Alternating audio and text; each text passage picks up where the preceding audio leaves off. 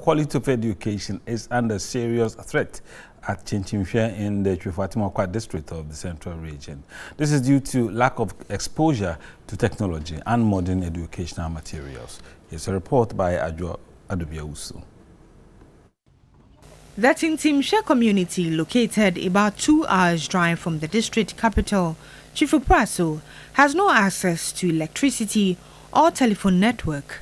This makes it difficult to reach anyone during emergency cases. The Tsimtsimhwe DA Basic School has only six trained teachers from kindergarten to JHS 3. The school does not have the necessary teaching and learning materials to help pupils understand what they are being taught.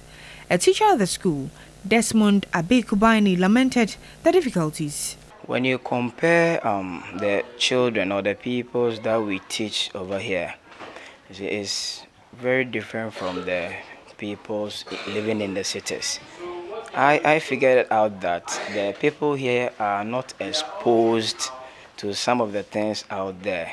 Teaching ICT, see, um, we teach the children in abstract ways. They are not, the materials are not there for them to interact with, making it very difficult for them to understand concept. Teachers say they rely on their own creativity to be able to impact knowledge if we want to have quality pupils and even in the near future get quality students, then we should be able to provide the right resources for pupils and schools in rural communities. The Sustainable Development Goal 4 is to ensure inclusive and equitable quality education and promote lifelong opportunities for all, but this can only be achieved if the peoples at Tsimtsimhwe community are provided with the necessary teaching and learning materials.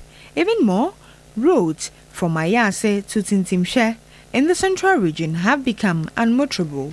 This is negatively affecting economic activities and healthcare delivery in the community.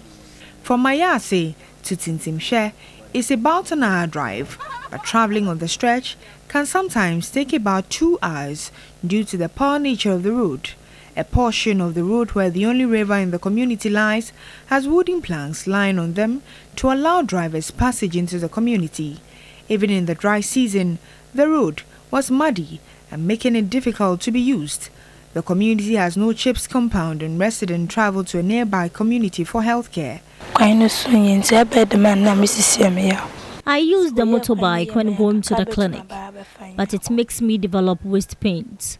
If the road was better, we would have had cars plying the road. The chief of Tsimtsimhwe, Said Amor II, was worried the delay in constructing the roads could help impede development in the area.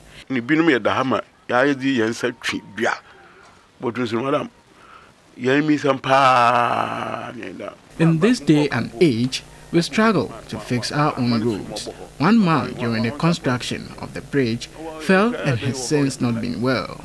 The district chief coordinator says plans are in place to help address the challenges at Tsimtsimhwe.